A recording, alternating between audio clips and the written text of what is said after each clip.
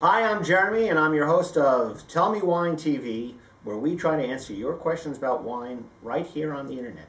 And today's question was sent in from Steve from Larchmont.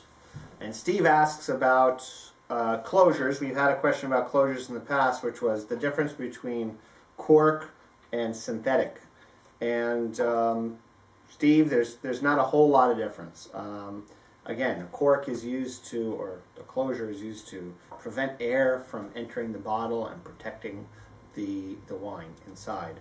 Uh, cork is the traditional hundreds, millennia old way that uh, winemakers have sealed wine bottles. Uh, the cork has uh, the ability to preserve wine.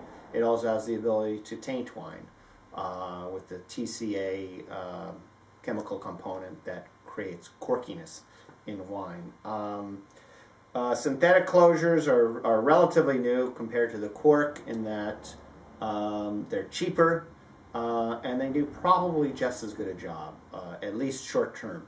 Uh, we don't know how well synthetics do in 10 or 20 years. Uh, I don't think there's any particular studies being conducted right now, but for most wines, a synthetic closure is, is just as good uh, as a uh, natural cork closure and uh, will actually cost less.